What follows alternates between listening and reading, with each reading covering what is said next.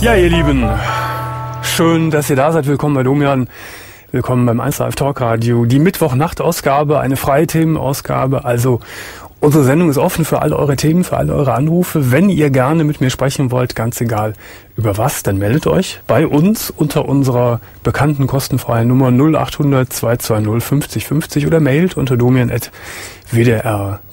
Die erste Anruferin heute Nacht heißt Renate und Renate ist 43 Jahre alt.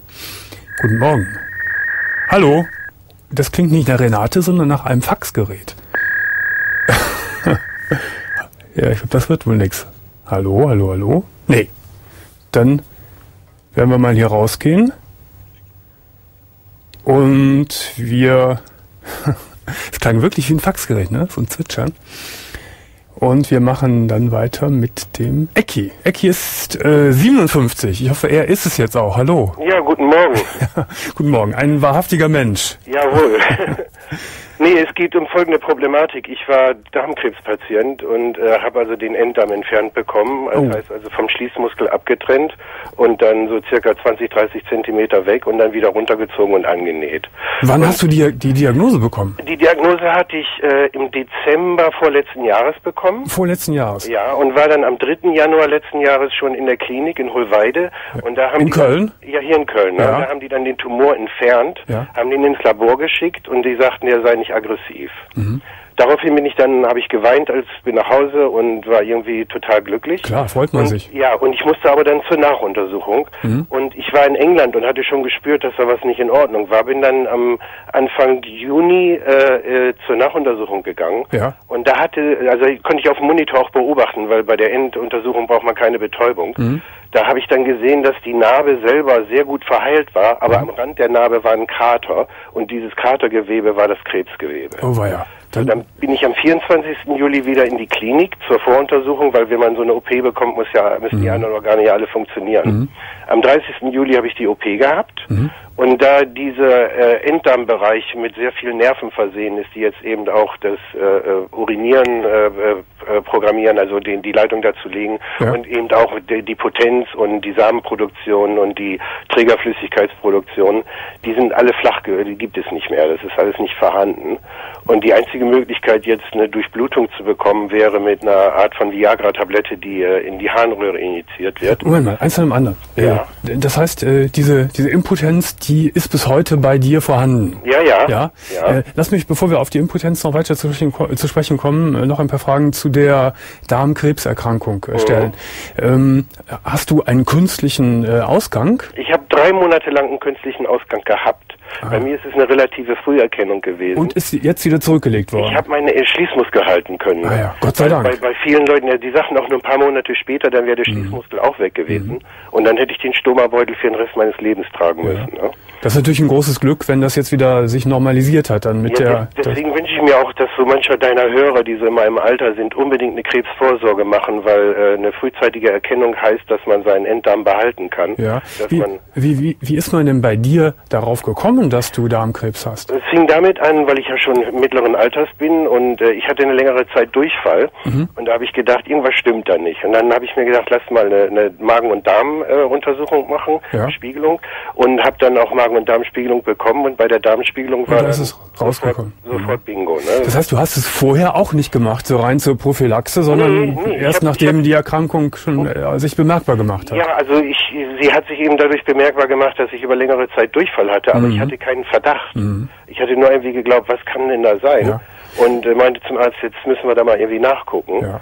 Und äh, das haben wir dann auch gemacht und da war da leider äh, also Krebsgewebe vom von der Sicht des äh, also der ersten äh, äh, ne? Ja. und im Krankenhaus war es ja eben leider also sagten die nicht aggressiv, aber dann im Ja. Ende ist es dann Also du hast natürlich völlig recht. Äh, äh, man hört es ja immer wieder und überall wird darauf hingewiesen, dass man ab einem bestimmten Alter, so ab, ab Ende 40, das unbedingt machen sollte. Ja. Ähm, das ist zwar dann äh, vielleicht äh, einmal etwas unangenehm, aber man hat dann ja auch zehn Jahre Ruhe. Es ist wirklich nicht unangenehm. Naja, ich habe es auch machen lassen, so ganz schön ist es nicht. Ja, nein, die Flüssigkeit, die man trinkt, ja, um genau. den Darm zu entleeren, ja, schon. aber es ist natürlich gar kein Vergleich dazu, was man hinterher mitmacht, wenn man wirklich eine Erkrankung hat. Ne? Ja, und vor allen Dingen, wenn der, der äh, Schließmuskel verschwindet. So, und genau. Man wird zugenäht und man muss diesen Stomabeutel für immer tragen.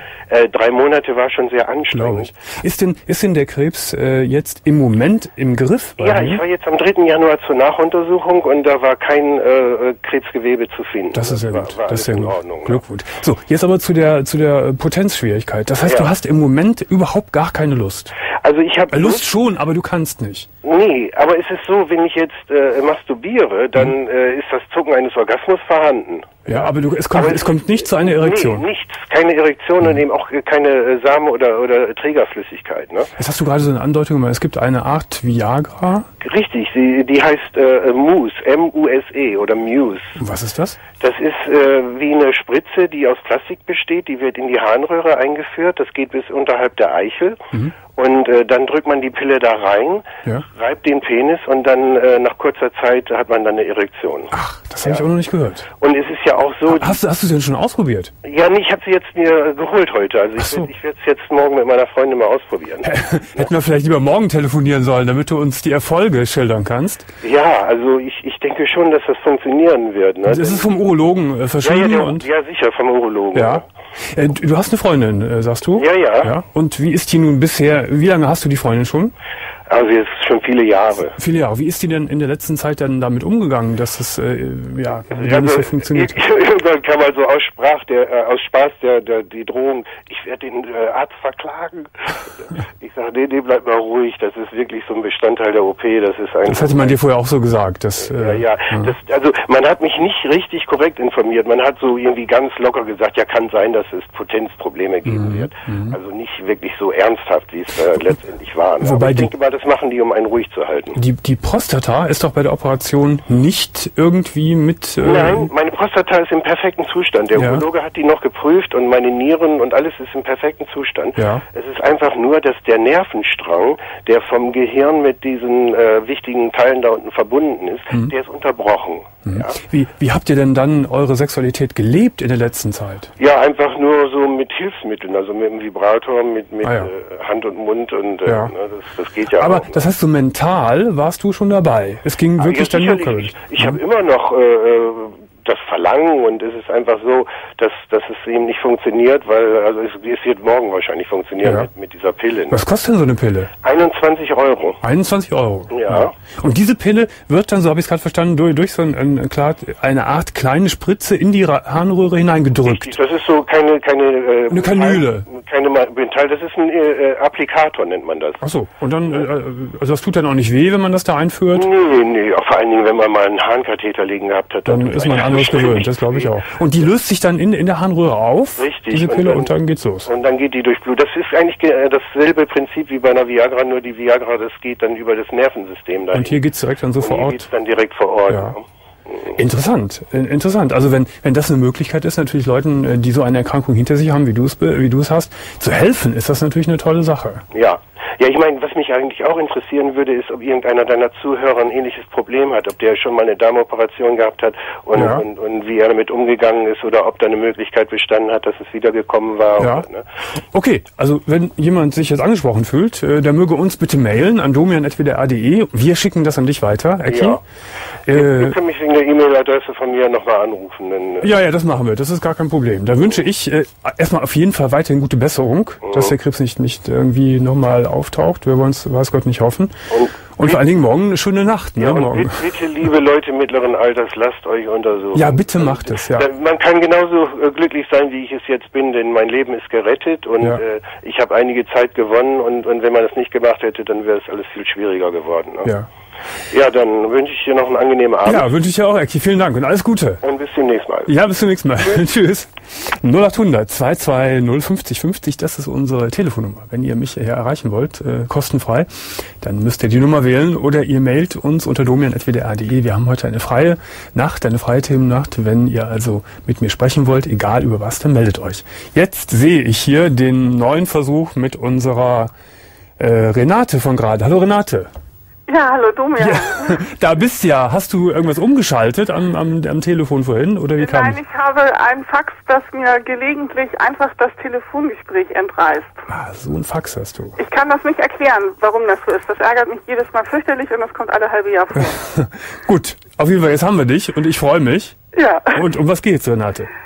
Ja, und zwar ähm, hatte ich schon vorgestern angerufen während der Sendung, äh, weil da so ein Mensch war, äh, so ein Barfußfetischist, der auf Frauen steht, die barfuß laufen. Ja, ein netter Anrufer aus Bayern. Genau. Der auf nackte Füße, nackte gepflegte Füße von Frauen, die aber eine schmutzige Fußsohle haben. Ja, genau. Darauf stand er, oder steht ja, er? Ja. Das äh, fand ich insofern spannend, weil also ich gehöre genau zu diesen Frauen, die furchtbar gerne barfuß laufen. Aha.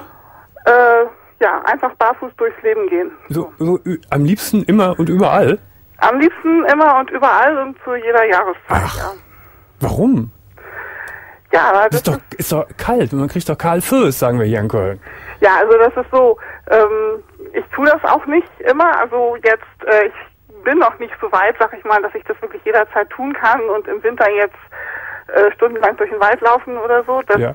Aber ich, also ich weiß, dass es solche Menschen gibt. Ich habe es mal im Fernsehen gesehen. Ja. Ähm, ja, ich wohne ich, in Hamburg. Ich meine, gen grundsätzlich ist das ja. nackt äh, Fußlaufen, Barfußlaufen ja auch sehr gesund, genau. wenn, wenn es nicht zu kalt ist natürlich. Aber nochmal die Frage, warum? Was gefällt dir denn da so gut dran für dich? Hat das was Erotisches, was Sexuelles? Äh, nein, es hat für mich also in erster Linie was Sinnliches. Was also, Sinnliches? Ja, sexuell äh, würde ich das jetzt nicht sagen, wobei... So fängt's an.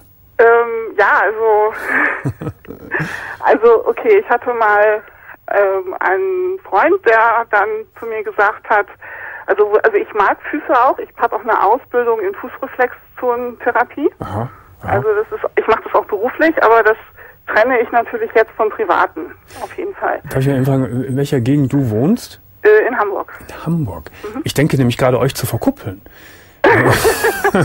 er wohnt in Bayern. Du, die, ihr werdet ja ein Traumpaar. Ja. Ihr, werdet, ihr werdet ja nur noch über die, über die Füße am erzählen. Ja, also ich, ich habe schon einen Freund. Du hast einen Freund, ah ja. ja. Schade auch, schade auch. Ja, aber es ist... Ähm, also es hat eine sinnliche Komponente. Ja. Nichts direkt Sexuelles, aber Sinnliches.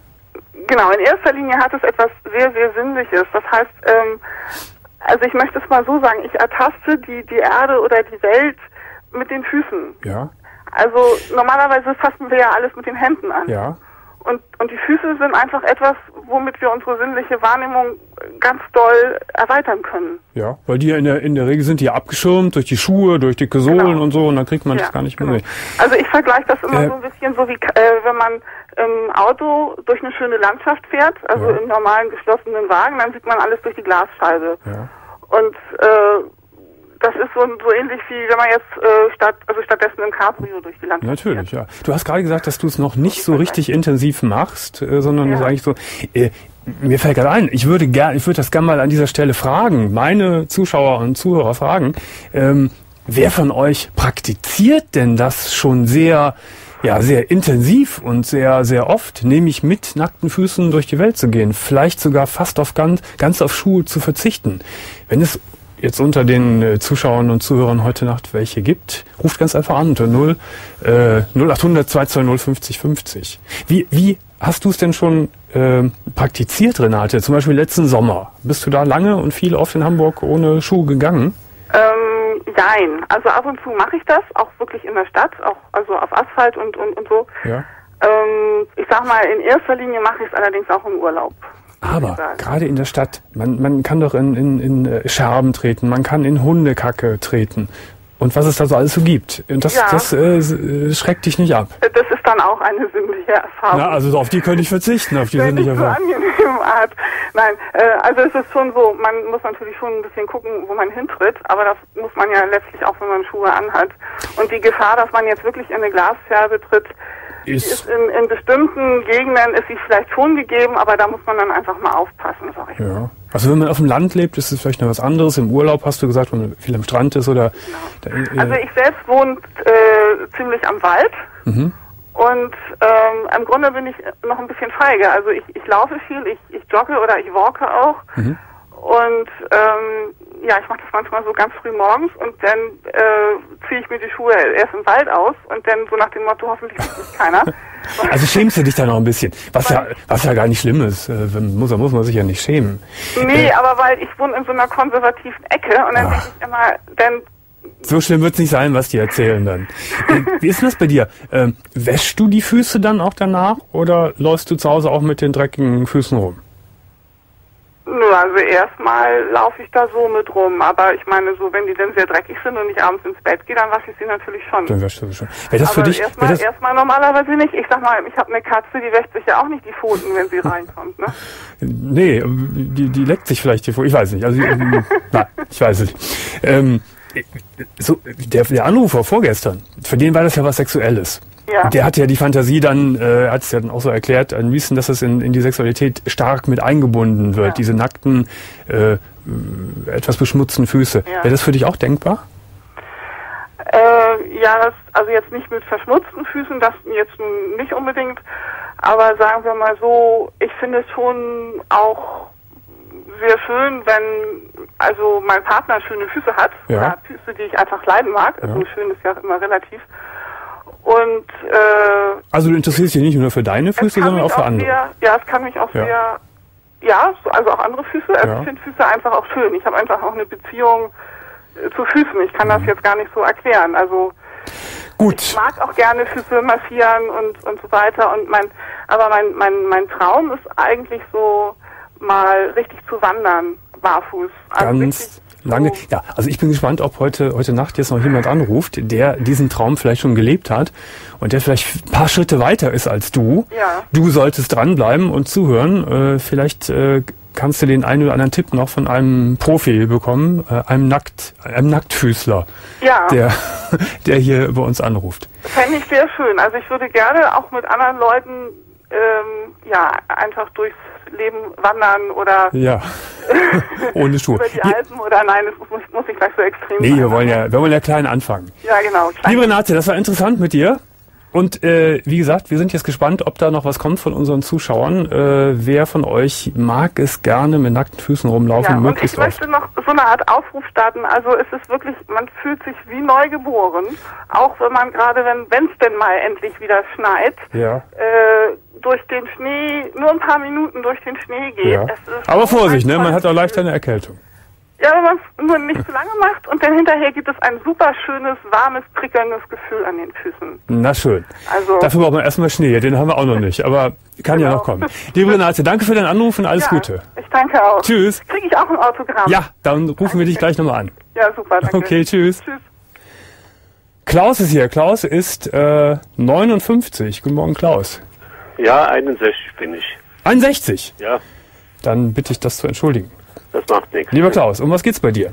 Ja, es geht um Folgendes. Ich bin äh, seit 30 Jahren verheiratet. Ja. Und meine Frau, die ist äh, ganz lieb, ist ganz nett, aber sie geht immer fremd, egal mit wem, welcher Mann, mit welchem Alter oder egal wie er aussieht. Stopp mal eben. Äh, Bitte schalt den Ton von deinem Fernseher ganz weg. Ja, okay, mach mhm. ich. Moment. Das solltet ihr ja immer tun, wenn ihr anruft, den Ton wegschalten. So, ja. Ja. Besser? Ja, viel besser, viel besser. Wie? Du bist 30 Jahre verheiratet und deine Frau geht immer fremd? Ja. Wie? Seit 30 Jahren geht die Frau fremd? Ja, genau. Die, äh, da ist nie ein Vertrauen da gewesen bei uns. Die hat also, äh, sobald ich aus dem Haus bin und es kommt irgendjemand, wo sie berührt oder wo sie wo Komplimente macht und dann lässt sich mit dem Mann ein. Egal wie alt er ist, egal wie er aussieht. Ist ja unfassbar. Und das, das weißt du. Ja, ich habe das nachher rausbekommen. Nach wie vielen Jahren Ehe hast du es rausgekriegt? Das war schon nur zwei, drei Jahre. Nach zwei, drei Jahren? Schon am Anfang war das schon passiert. Und äh, dann hat sie geweint und hat äh, gesagt, sie macht's nie mehr. Ich habe ja immer verziehe. Ich war damals auch äh, praktisch in dieser Verfassung, dass ich äh, vier kleine, also im Nachhinein vier kleine Kinder hatte, eine Tante, wo gepflegt werden muss mhm. und konnte gar nicht anders, als die Frau weiter zu behalten. Also ihr beide? Wenn ich allein gewesen wäre, wäre ich nicht bei ihr geblieben. Achso, also ihr beide habt zusammen vier Kinder? Ja. Äh, hast du eine Vorstellung, wie oft deine Frau dir schon fremdgegangen ist? Ich schätze mal, dass das, äh, das kann man gar nicht mehr zählen. Das ist bestimmt schon äh, mit über 50 verschiedene Männer. Oder wahrscheinlich so. mehr, wenn, wenn du sagst, wenn das seit 30 Jahren so geht, ja. dann ist das ja wahrscheinlich eine irre hohe Zahl, die wir uns gar nicht so ausmalen können. Genau so ist es, ja. Und jetzt, wie, sie ist jetzt auch in deinem Alter, deine Frau? Die Frau ist zwölf Jahre jünger wie ich. Die ist zwölf Jahre jünger als du? Ja. Und das geht, läuft jetzt immer noch so? Ja, äh, ich war jetzt, ich muss jetzt sagen, ich war jetzt ich bin auch krank. Äh, der erste Anrufer heute, der hat so eine ähnliche Krankheit wie ich. Ja, ich wurde vor anderthalb Jahren äh, wurde bei mir Prostatakrebs festgestellt, mhm. wurde entfernt mhm. und äh, da wurde auch die Lymphknote mit rausgemacht und die Nervenstränge wurde auch durchtrennt, sodass die äh, Potenz auch ziemlich weg ist. Mhm. Ne? Naja, das ist natürlich und, bei Prostata-Operationen noch viel schlimmer vermutlich als bei. Ja, ja. Mhm. Und äh, dadurch natürlich, äh, sie war dann mitgefahren in, in die Klinik. Äh, sie war vier Tage, fünf Tage bei mir, hat mir sehr, äh, schwer zugestanden und dann, wie wir heimkamen, und dann war so zwei Monate vergangen und dann hat sie äh, hier sich mit dem benachbarten Bauernhof, da ist ein äh, Pole, äh, wo dort, äh, die, wie sagt man da, Dienst macht. Mhm. Und mit dem hat sich dann eingelassen. Wenn ich dann aus dem Haus war, hat sie den mit ins Schlafzimmer geholt. Das sind aber immer nur so Sexsachen oder hat die sich auch verliebt in andere Nein, Männer? nur mit Sex. Nur Sex, Sex immer Sex. Sex ja. Auch in den Zeiten, wo es dir gut ging und wo, äh, wo du ja, sexuell genau. auch aktiv warst, da auch. Äh, äh, sie hat das also, äh, anfangs äh, hatte ich gedacht, das ist nur, wenn sie Alkohol getrunken hat, aber sie hat es auch immer gemacht, äh, Sie hat es auch gemacht, wenn sie nüchtern war. Aber was, was ist das für ein Gefühl für dich als, als, als Ehemann, wenn, wenn, du Gefühl. dein ganzes Leben lang von der Frau betrogen und äh, ja belogen, hat sie sich dann auch immer versucht? Belogen auch, ja, belogen, ja. Das ist ja, das gehört dann dazu. Genau, und du hast es dann immer nur irgendwie mal wieder rausgekriegt. Und äh, wahrscheinlich gibt es noch eine große Dunkelziffer. Genau so ist mhm. das. Sie hat es dann auch, wenn sie nicht mehr anders konnte, dann hat sie es zugegeben im Nachhinein. ja, wie, wie fühlst du dich dabei, wenn man 30 Jahre ganz, so? Ganz schlecht. Äh, ich habe also, äh, ich war ja nach dieser Operation ja auch in der Reha-Klinik und da haben wir äh, Vorträge über Krebs äh, uns angehört. Und äh, wenn man dann sowas durchmacht, das mhm. wird natürlich ein Krebs. Ne? Aber Klaus, äh, da stellt sich doch wirklich die Frage, okay, ganz damals am Anfang, sagst du, warst du auf sie angewiesen wegen der Pflege und wegen der ja, vier ja. Kinder, aber irgendwann waren die Kinder äh, groß. Genau, die äh, waren warum, dann, äh, warum bist du dann nicht gegangen? Ja, es ist so, das Haus, das ist ein Bauernhaus, den habe ich gehabt äh, mhm. vom Onkel. Mhm. Und das Haus, das ist praktisch äh, mein Abstieg, ich will das Haus nicht verlassen. Die Frau, die kam ja zu mir, äh, die hat ja praktisch nichts mitgebracht. Mhm. Ne? So, und ich hatte die Frau, die war auch schon mal äh, für 14 Tage, drei Wochen weg bei ihrer Eltern. Mhm. Und jetzt, wo, wo das passiert war, letztes Jahr, vor einem Jahr ungefähr war das, und da hatte ich gesagt, so, jetzt ist Schluss, die Kinder sind jetzt alle erwachsen. Mhm. Äh, ich habe ihr vorher schon, weil ich das vermutet habe, da habe ich gesagt, mhm. wenn du das äh, machst hier und dann gehst du weg, dann gehst du hin, wo du hergekommen bist. Jag sie vom Hof.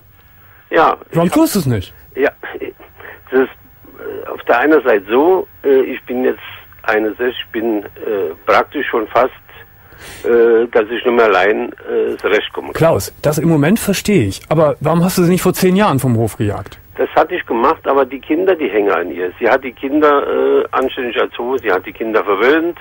Wissen die, die Kinder sind erwachsene Leute. Die Kinder wissen, wissen die, was da abgegangen ist bei euch? Die wissen es jetzt, die wussten es damals nicht. Da waren sie, da konnte ich denen das nicht sagen, da waren die Kinder vielleicht 12, 14 und so und das. Also du hast wahrscheinlich den Zeitpunkt verpasst, wo du sie hättest loswerden können. Ja gut, es war ja auch Zeit dazwischen, da war sie vielleicht mal ein Halbjahr oder ein Jahr, war sie treu. Ja, aber was ist das denn für ein Argument? Ja. Das ist überhaupt kein Argument. So, ich hatte also. Nur, ist es wie es ist. Die Vergangenheit äh, kann man nicht verändern. Nee. Du, bist ein, du bist ein, ein kranker Mann mittlerweile. Ja. Äh, äh, kümmer, ist sie denn sonst wenigstens freundlich und nett zu dir? Ja. Das ja, schon. Ja, sie macht alles. Sie legt mir äh, die Sachen raus, verwöhnt eine überall.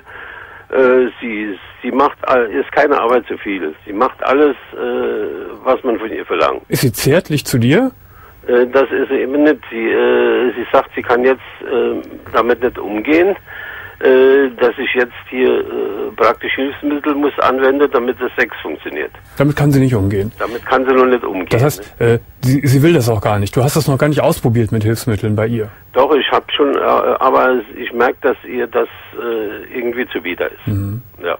So, wie stellst du dir jetzt dein weiteres Leben vor mit dieser ja, Frau? ich weiß es nicht. Ich habe jetzt nochmal äh, einen Tumor, äh, wo die Prostata war. Das wird zurzeit bestrahlt. Mhm. Und dann habe ich noch eine Darmkrankheit dabei. Äh, das nennt man Colitis ulcerosa. Mhm. Da wird der Darm äh, wird rot und äh, sondert Eiter ab und dann hat man Blut im Stuhl und weißer Stuhl Mhm. und muss dann äh, 10, 15 Mal am Tag auf die Toilette gehen. Das heißt, du bist ein kranker Mann. Ja, da ist genau. natürlich eine, eine Trennung äh, eigentlich gar nicht möglich, weil So ist es dich so dann ist noch mehr anschlagen würde. Ja, genau. Ist die Frage, wie du dich, ich meine, du hast dich jetzt 30 Jahre arrangiert, kannst du dich jetzt nicht auch irgendwie mit ihr arrangieren? Da ist halt das Thema Sex, ist halt gegessen zwischen euch Das, beiden. ja, ja, aber dann, äh, das würde ich ja auch akzeptieren, aber es ist kein Vertrauen da. Ich weiß nie, ob sie mich belügt oder äh, ob sie die Wahrheit sagt. Dann sag ihr doch ganz einfach, ich meine, ich weiß ja nicht, wie offen ihr redet miteinander. Dann sag ihr doch ganz einfach, äh, du weißt ja sowieso, äh, was die, all die Jahre gelaufen ist. Gib ihr doch einfach ein, ein, die Freiheit. Hab ich ja, hab ich ja. Und dann soll sie Aber, dir sagen, äh, was sie macht und ihr ist es, Hauptsache du weißt es und dann ist gut. Ja, das, das kann sie aber nicht. Äh, ich kann, wenn ich mit, das ist immer schon so, äh, sie sitzt dann da, wenn ich mit ihr rede, guckt an die Wand und gibt einem keine Antwort. Und der andere Tag macht es, als wenn nichts gewesen Mhm. Ach so, wäre. das heißt- ich muss also dazu sagen, die äh, Frau, die ist äh, von ihrem Vater früher missbraucht worden.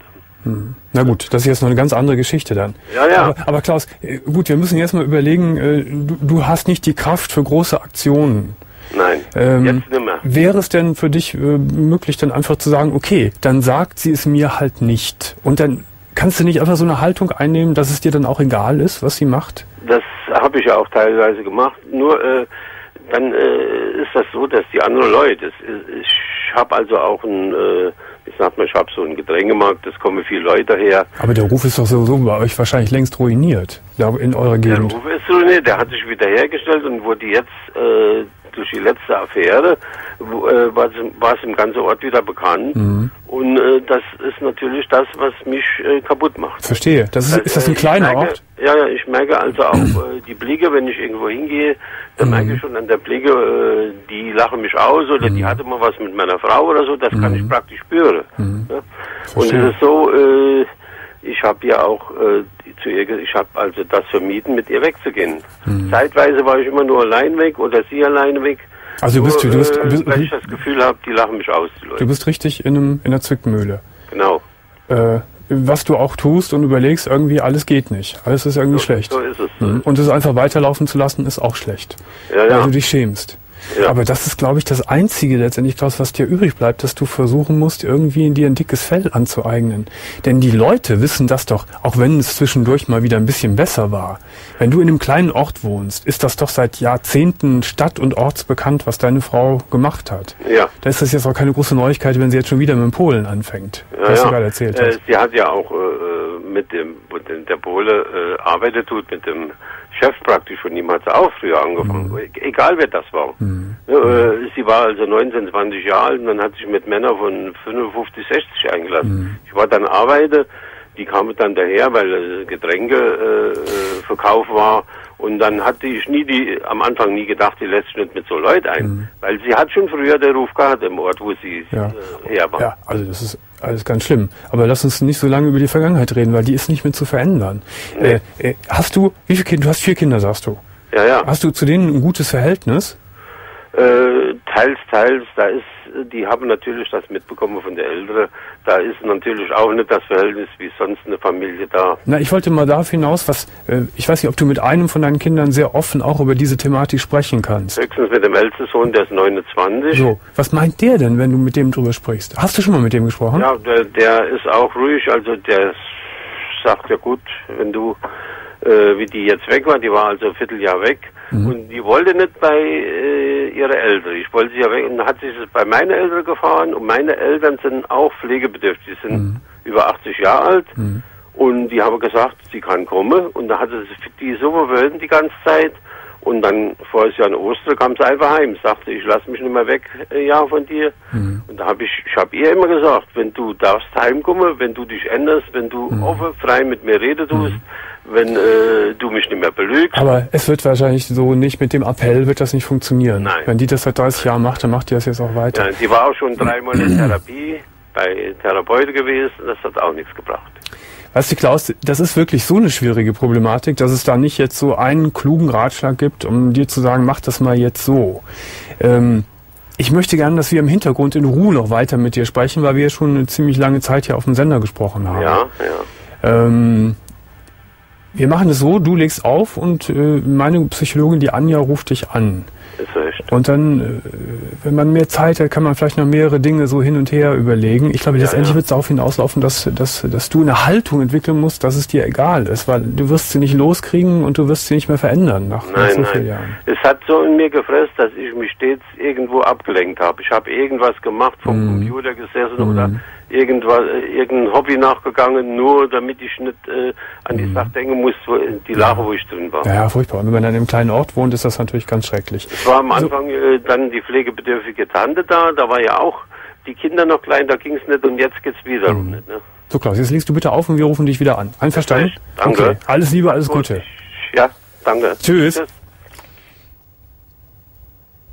So, ihr Lieben, morgen haben wir ein festes Thema. Morgen ist Donnerstag. Und morgen heißt unser Thema, in diesem Moment habe ich versagt. Lasst mal so euer Leben Revue passieren und überlegt, ob es einen solchen vielleicht sehr, sehr gravierenden und spektakulären Moment in eurem Leben gab, von dem ihr sagt, in diesem Moment habe ich versagt.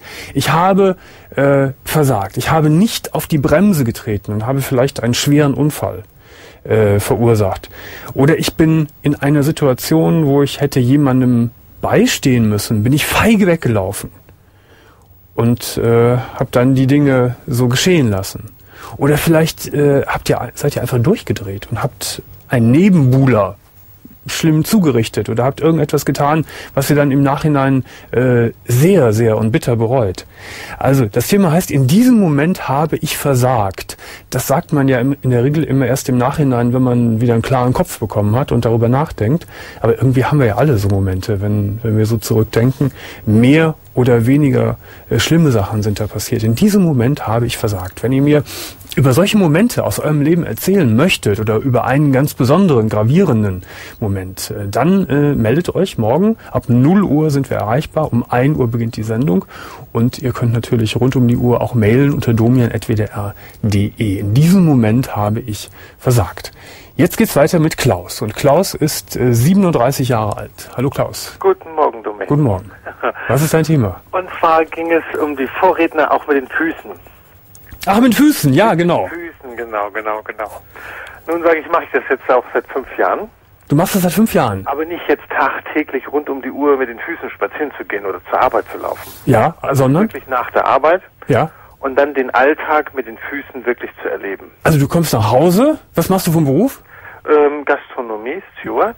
Da, da musst du natürlich dann mit Schuhen rumlaufen. Ja, ja. leider, mit Arbeitsschuhen, ja. Genau, du kommst nach Hause, runter mit den, mit den Schuhen, mit den Socken. Genau, genau. Und dann? Ähm, wo man sagt, also ja, ordnungsgemäß nach der Arbeit halt duschen ja. und dann halt die Füße pflegen. Ja. Also, wo ich sage so nicht, dass ich jetzt ein Food-Fetischist bin, aber ja. ich liebe meine Fußsohlen auch. Ja. was heißt, wie pflegst du die denn jeden Tag? Also die werden äh, was, wo man sagt so, man nimmt Nivea fürs Gesicht, so nehme ich Nivea für die Füße. Jeden Tag? Ähm, ja. Jeden Tag nach der Arbeit ich, äh, werden... So, und dann, wo man, äh, ob es nun die, äh, die, diese Fußmassage, äh, Fuß Zonen. Reflexmassage, so heißt das ja, ja. Genau. ja. Wichtiges Wort. Ähm, und das mache ich dann halt, ich massiere meine Fußsohlen und so. Also ich liebe meine Unterfußsohle. Ah, weil sie eben, das ist ja auch nachweisbar, sehr viele Verbindungsstränge, Nerven in den ganzen Körper gehen und. Das ja, also ich sag so gut, ich tue mir da nicht jetzt sagen, ich massiere mir das jetzt, um die Kopfschmerzen wegzubekommen. Einfach zum Wohlfühlen. Aber es sagte jetzt gerade Kinder auch, das hatte ich dem, dem also am Telefon gesagt, mhm. ähm, dass selbst Kinder ähm, die Welt mit Füßen erleben in dem Sinne, dass sie auch mal so über Sand laufen, Klar, Steine natürlich. laufen. Ja, weil ja. die ja durch die Schuhe es verlernen, Gefühle ja. aufzunehmen über die Füße. So, hast, läufst du denn dann nur mit, mit, mit nackten Füßen in der Wohnung rum? Oh. Ähm, sagen wir ja gut, wo man sagt, so hat man äh, ja natürlich in der Wohnung, aber auch draußen. Was heißt draußen? Äh, man geht den Alltag einkaufen. Ach, du gehst einkaufen mit- Eisbaden geht man den ersten Schnee. Aha. Also nicht jeden Tag jetzt im Winter barfuß laufen. Also so hart abgesotten und das möchte ich meinen Fußsohlen auch nicht antun. Ja, weil dann werden, natürlich, wenn du viel mit denen, denen auch rausgehst, werden die auch abgehärtet und hornig Ja, und, und. Hornhaut, ja, natürlich. Ja. Das hat man ja, wenn man also wirklich äh, hinten die Ferse, dann hat man ja auch, bildet man ja auch Hornhaut. Ja. Und Das ist ja, wenn, ähm, wenn man neues Schuhwerk hat, dann bildet der, bildet der Fuß ja dann halt noch lässt du die Hornhaut drauf oder raspelst du sie runter? Also ich bin nicht jetzt, dass ich mir Spezialwerkzeug hole, um mir das runterzuraspeln. Mhm. Also wo man sagt, so es gibt äh, Sachen, wenn man Füße eingeweicht hat und äh, wirklich einweicht in so ein schönes, was weiß ich, ätherisches Öl, das dann auch noch schön riecht, Mhm. äh, kann man das sicherlich mit, so- mit äh, so einem Messerrücken abschaben. Ja, also, gibt's ja zu kaufen, diese Dinger überall. Oder so einen Stein Ja. nehmen und seine Füße malträtieren. So, jetzt sagst du, du gehst mit, mit nackten Füßen auch einkaufen. Ja, natürlich. Wo einkaufen? Im Supermarkt? Ähm, es ist wie zur Kinderzeit. Also wenn im Sommer, wenn man wenn man in die Badeanstalt gelaufen ist, dann ist man ja nur barfuß gelaufen. Das stimmt, aber im Supermarkt äh, ist das eher nicht üblich. Nee, natürlich nicht. Aber Oder im Baumarkt. Gibt ähm, äh, ich sag mal, dass man irgendwie so ab 10, 11 und irgendwann muss man so erwachsen werden. Das Ja. heißt, man muss äh, Socken tragen, man muss Schuhe tragen. Wie sind denn die Reaktionen, wenn du im Supermarkt oder in irgendeinem anderen Geschäft dann barfuß äh, auftauchst? Naja, nur gut bin ich ja, wo ich sage, ich,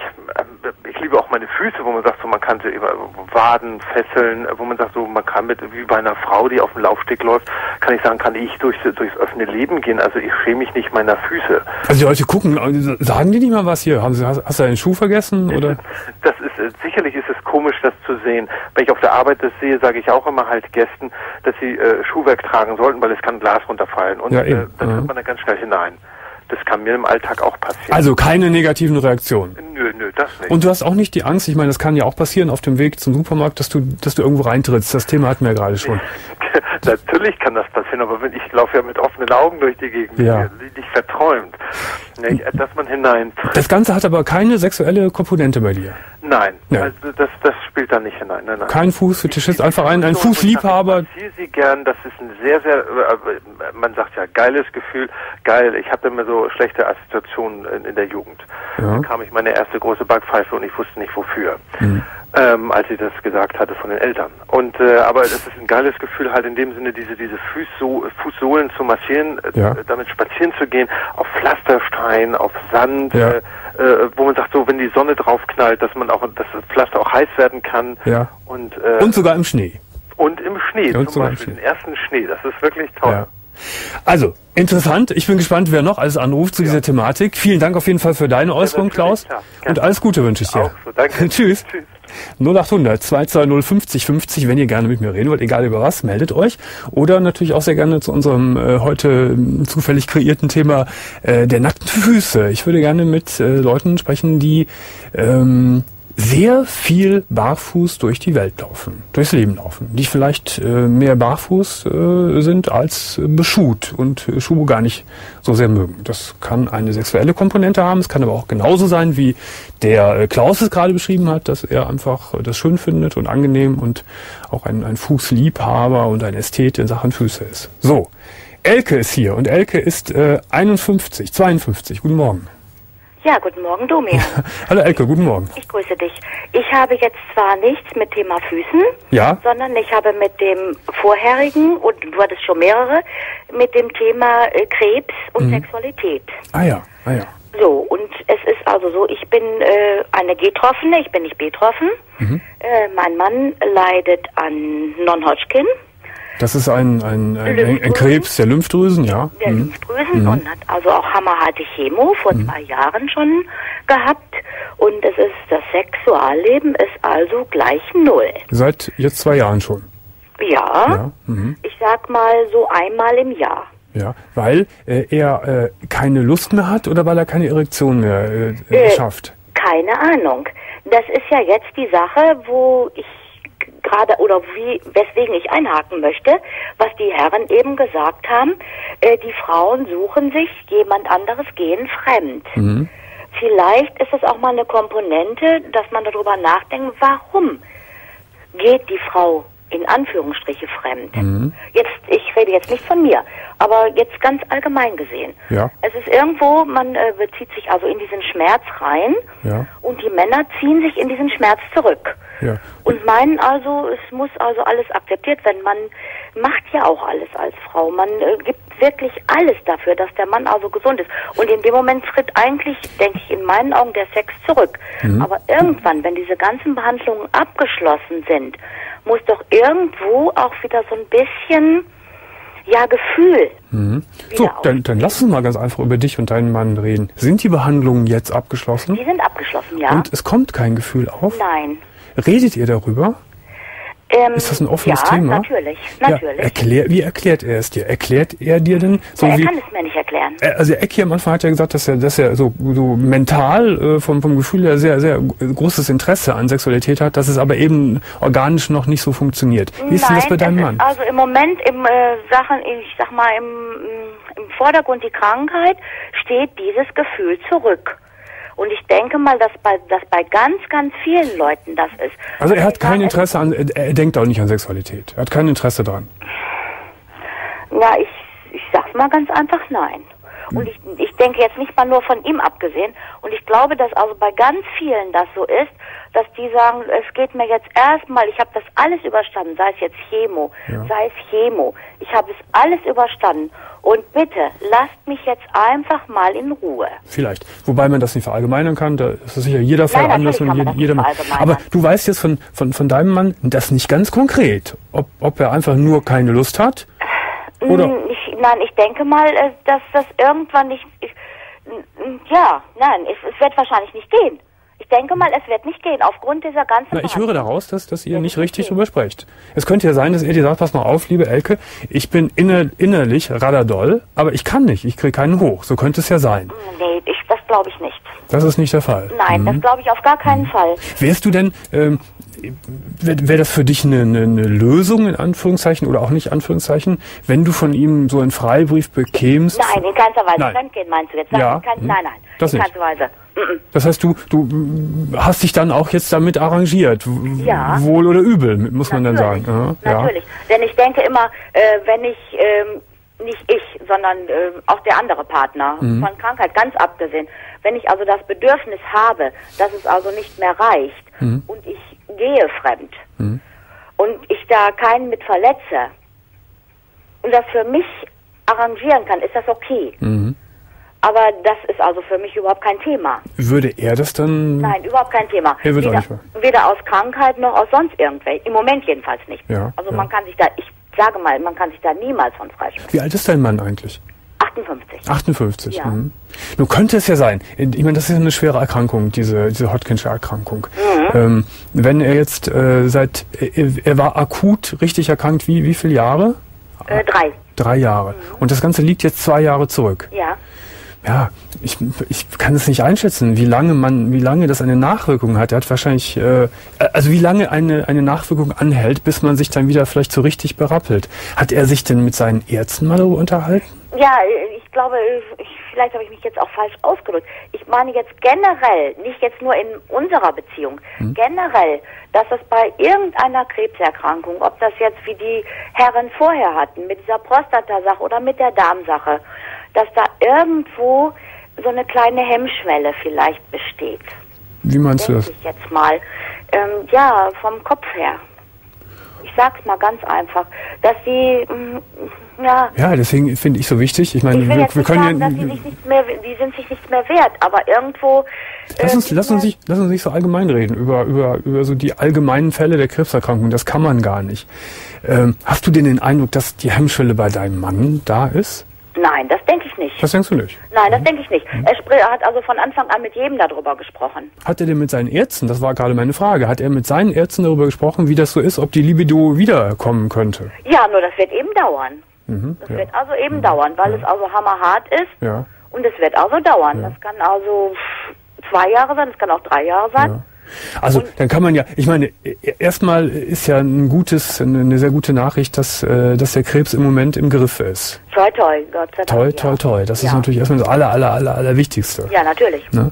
Äh, dann kann man, wollen man jetzt, wollen wir erstmal gemeinsam hoffen, dass das so weiter bleibt. Ja, ich meine, das denke ich auch. diese Angst, dass er wiederkommen könnte, kann natürlich auch auf die Lust niederschlagen, weil da tickt jeder Mensch ja auch anders. Ja, aber ich denke mal, in dem Moment äh, steht aber die Lust auch zurück. Genau, genau. Gesundheit ist ja das Wichtigste. Natürlich, genau, erstmal. ja. Das ist erstmal das Wichtigste. Aber was für was für mich erstmal wichtig ist, um das diesen anderen beiden Herren da zu sagen, denke mal, irgendwann kommt das auch wieder. Hm, okay. Meinen Vorrednern davon, Ja.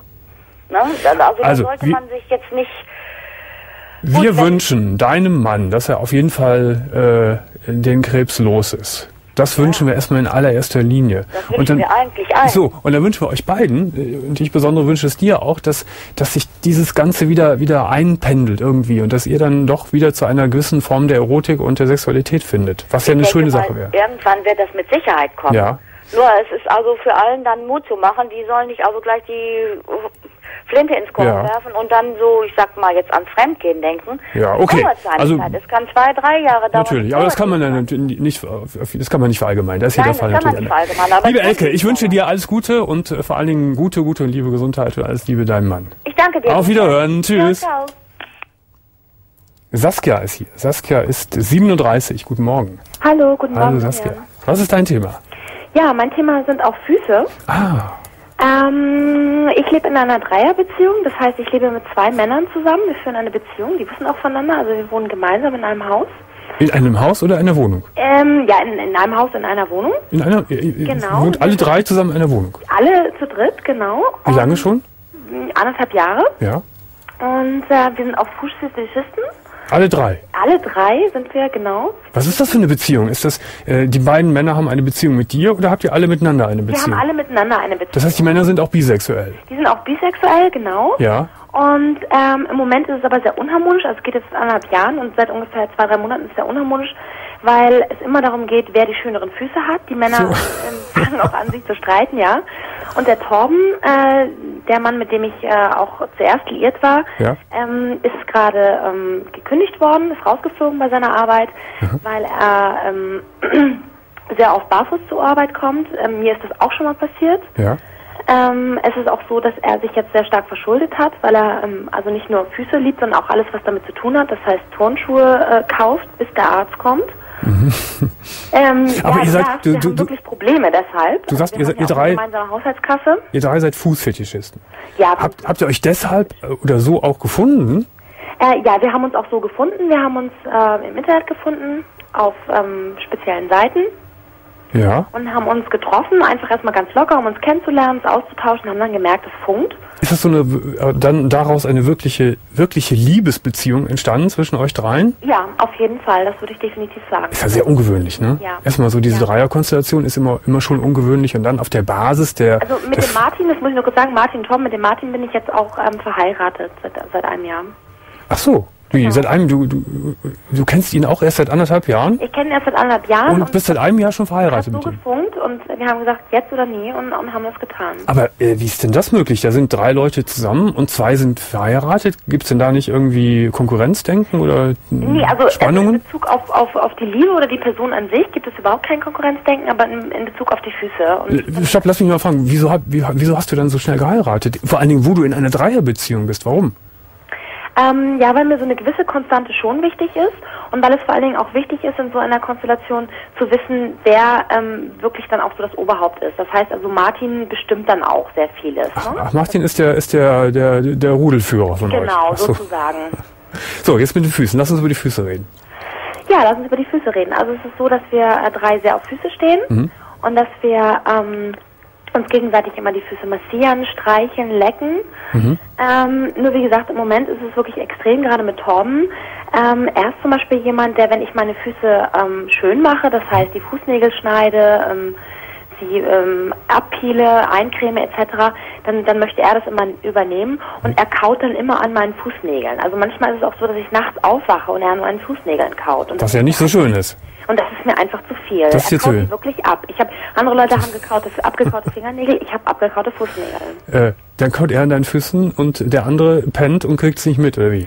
Äh, genau, so Ja. sieht's aus. Und äh, das ist des, des Guten dann zu viel und das bringt auch äh, eine gewisse Spannung dann in eure Beziehung. Zum Beispiel. Allerdings, ja. genau. Ja, richtig. Aber die, die Füße werden auch immer in eure Dreier-Sexualität mit eingebaut. Immer, also das ist, würde ich sagen, wirklich auch so der, der, der Grundstock. Ne? Ja. Es geht immer über die Füße. Ja. Also wenn ich dann Lust habe, ähm, auch ähm, auf Müssen- Sex und mich den anderen anzunähern, dann, dann zeige ich immer meine Füße. Es ist Gut. so, dass, dass, dass Gutes Signal, ne? Wortlose äh, Kommunikation, man zeigt mal schnell den Fuß und dann wissen die Ja. Jungs, jetzt geht's ab. Nur es hat sich eben sehr, sehr gesteigert. Am Anfang ähm, reichte es, die bloßen Füße zu zeigen. Mittlerweile muss ich sie auch bemalen. Das heißt, also es reicht, reicht nicht nur der Fuß an sich, sondern ich muss wirklich auch Gesichter drauf malen, Bilder, Blumen, äh, Applikationen, Mhm. damit das äh, zum Teil noch reizvoll ist. Ihr seid ja ein verrückter Haufen. Wir sind verrückte Haufen. Was macht ihr so vom Beruf? Also ich bin ähm, Versicherungsangestellte, Ja, also einen ganz normalen Beruf. ganz normale Berufe. Wirkst wahrscheinlich im Büro überhaupt nicht so Mhm. schräg. Es geht also, ich, ähm, meine letzte Arbeitsstelle wurde mir gekündigt, auch aufgrund dessen, dass ich eben äh, barfuß dorthin gekommen bin. Ah. Äh, ich bin jemand, der wirklich unglaublich gerne barfuß läuft. Für mich Ja. ist das ein sehr erotisches Erlebnis, alles über meine Fußsohlen zu spüren. Und das hast du dich getraut, ins Büro zu gehen, barfuß. Ja, das die Versicherungsbranche ist ja auch eher so ein konservativer Verein, ne? Und ja, das Problem ist, das hat irgendwann auch nichts mehr mit Trauen zu tun, sondern es ist ein Bedürfnis, das man hat, dem man einfach nachgehen muss. Und da hat der Chef gesagt, also entweder. Schuhe an oder raus. Dann hast du Bitte? gesagt, dann hat der Chef gesagt, entweder die Sch- Schuhe an oder tschüss. Genau, also ich wurde dann einmal irgendwie höflich darauf hingewiesen und verwarnt Mhm. und ähm, beim zweiten Mal lag dann die Kündigung auf dem Tisch. Und die Jungs gehen auch gerne äh, viel draußen mit, ja, äh, ja. also, also ohne wenn Schuhe. wir, wenn wir zusammen sind am Wochenende oder so, dann gehen wir auch wirklich äh, zusammen in den Supermarkt, in die Apotheke. äh, wir fahren auch Bus und Bahn wirklich barfuß. Jetzt, im, wie macht das jetzt im Winter? Ähm, Im Winter natürlich immer ähm, so ein bisschen verhalten. Das heißt, wir nehmen dann auch Schuhe mit, weil irgendwann wird es zu kalt. Ja. Aber wann immer wir können, wo immer wir können, äh, laufen wir barfuß. Und habt euch noch nicht- Zum Beispiel auch in der Diskothek, selbst wenn da Scherben liegen oder so, ich glaube, es macht ihn auch ein bisschen an. Also Ähm, Diskothek er fände ich äußerst heikel. Einmal wegen wirklich wegen der Scherben und zum anderen hätte ich tierisch Angst, dass mir ständig jemand auf die Füße tritt. Ja, also ähm, er mag das schon gern. Also er findet das schon schon auch spannend und findet das auch schon Hm. anregend. Was machen die Jungs vom Beruf? Ähm, also ähm, der eine arbeitet auf der Bohrinsel. Ich möchte jetzt auch nicht genauer. Nein, nein, natürlich. Der Bo nein, nein, natürlich nicht. Du musst es nicht. Ich will mir nur so ein Bild machen von euch. Äh, Ja. Ja. Und der andere arbeitet auch im versicherungstechnischen so. Bereich. Und lebt ihr in einer Großstadt oder auf dem Land? Wir leben auf einer, äh, was heißt auf einer? Wir leben in einer Großstadt. Ja. Ähm, aber wir haben eine ganze Zeit lang auf dem Land gewohnt und da war es natürlich ein super Problem, weil die Leute das auch mitbekommen haben und Ja. sehr gemieden haben. Ne? Ja. Und so jetzt da so in der Nachbarschaft, wie ist, fällt, fällt es da nicht sehr auf? Meine, Doch, ihr seid ja an also- sich schon ungewöhnlich in eurer Konstellation und dann noch mit den Füßen. Ja, also es, fällt schon auf. Vor allen Dingen ähm, veranstalten wir auch ab und an Partys. Fuß, äh, Fußfetischparty. Ja, genau. äh, wir haben also mittlerweile wirklich so eine, man kann schon sagen, kleine Community. Also es sind nicht viele Leute, aber so Ja. um die 10 bis 15 jedes Mal. Und das, das fällt natürlich schon auf, doch. Wie, erzähl mal, ihr, feiert dann, Fuß, äh, Fußpartys. Äh, wie, wie geht denn Wir das feiern ab? Wie, was, was genau. passiert auf diesen Partys? Alle kommen mit nackten Füßen. Ja, alle kommen, kommen, meistens sogar vermummt. Das heißt also, man möchte nicht ablenken vom Wesentlichen. Wie vermummt? Die haben die, die Gesichter sind, sind Die Gesichter sind vermummt. Man ist äh, von Kopf bis Fuß gekleidet, meistens in schwarz oder- dunklen äh, Kleidungsstücken. ja, man kann ja nicht vermummt, vermummt Auto fahren. Vermummt man sich dann kurz, Ja, bevor man, ich weiß jetzt nicht genau. Ich, ich stehe da nicht unten direkt vor der Tür dem Klingeln. die machen das dann im Hausflur irgendwie oder so. Genau, Ja.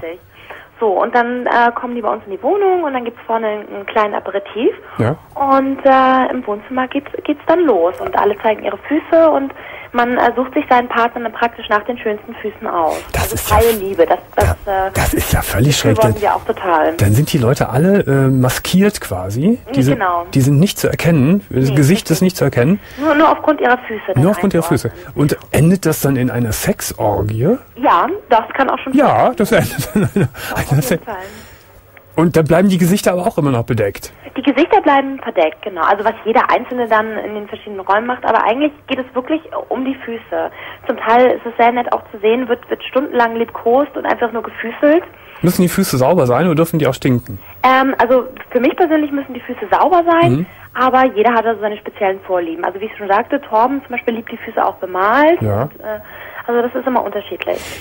Ihr, ihr führt dann ja doch ein sehr illustres Leben, muss ich sagen. Ja, wir führen ein lustiges Leben, wobei, ähm, wie gesagt, also es gibt auch, auch gibt negative Probleme. Aspekte, wie zum Beispiel ähm, die Verschuldung durch Kaufen von Schuhen, Turnschuhen, primär. Also ist ja nicht nur Fußfetischist, sondern auch noch Schuhfetischist. Genau, aber das, das geht ja einher. Also alles, was so mit, mit Füßen zu tun hat. Ja. Ne? Also Hm. da, gibt es auch Männer, die zum Teil, zum Teil äh, wirklich den Bimstein in den Mund nehmen und dann den, den Frauen äh, die Füße abschmirgeln und so weiter. Das gibt ne? es. Das macht man vielleicht auch bei solchen Partys. Das, ja, natürlich, das macht man auf den Partys, klar. Man nimmt einen ja. Bimsstein in den Mund und schmirgelt die Füße der Frauen Ja, ab. ja. Entschuldige, wenn ich so na, ich frage, ich, ich kenne sowas nicht. Ich kenne sowas nicht, deswegen frage ich auch so. Wie bist du, bist, was habe ich gesagt, 37, ne? Ja, richtig. Wann bist du drauf gekommen, auf, auf diesen Fetisch? Ja, also das hat sich bei mir schon ziemlich früh herauskristallisiert. Also Mhm. ich muss sagen, dass mein Großvater immer sehr viel barfuß äh, herumgelaufen ist. Mhm. Das war so der erste und einzige Mann in meinem Leben bis zu meinem 17. Lebensjahr. Und äh, das, das habe ich so mitgenommen. Das hat mich damals irgendwo schon sehr fasziniert. War vielleicht auch so ein Vorbild und du hast es ihm nachgemacht. Genau, Mhm. genau. Und das, das hat mich wirklich äh, geprägt. Ja, ja. Und dann, äh, wann hast du angefangen, dieses dann auch so im sexuellen Sinne zu, zu, zu sehen und zu praktizieren? Wie alt warst du da? Ja, also ich würde sagen, das ging so dann mit, mit äh, knapp 18 los. Ja. Äh, ich kann mich noch erinnern, da war ich beim Schwimmverein mit, mit äh, ein paar Freundinnen Ja. und äh, ich habe ich hab deren Füße gesehen und bin einfach fast verrückt geworden. Ne? Bist du denn auch bisexuell? Ähm, jein, also es ist sehr schwierig zu sagen, weil es geschlechterunabhängig ist. Sobald Ja. mir die Füße gefallen, Ach so. Ach so. Ähm, Egal was oben ist, Hauptsache die Füße sind genau. Haupt, äh, es ist völlig egal, was oben ist. Solange die Füße stimmen, dann Das heißt, es könnte auch ein, ein vielleicht ein großer Altersunterschied sein zu einem Ja, Menschen. Wenn ja, die, ja, wenn die ja, Füße ja. schön sind, ist es dir Ja. völlig wurscht. Also ähm, eine Freundin von mir ist Altenpflegerin und Mhm. ähm, hat mich mal einen Tag äh, mitgenommen aus beruflichen Gründen. Ich habe das mal angeschaut Mhm. und es gibt auch sehr viele ältere Menschen mit sehr gepflegten Füßen. Ja, definitiv, das ist sehr ja. erotisch. Also für mich war das so, als ob ich irgendwie Ja. gerade ein Porno gucke. Ne? Liebe Saskia, wir müssen leider Schluss machen. Die Sendung ist vorbei. Grüß die beiden Jungs sehr herzlich von mir. Und alles Gute euch und viel Spaß. Tschüss. So, mein Lieben, an dieser Stelle nochmal der Hinweis auf morgen. Morgen heißt unser Thema, in diesem Moment habe ich versagt. Gibt es in eurem Leben einen Moment, vielleicht einen ganz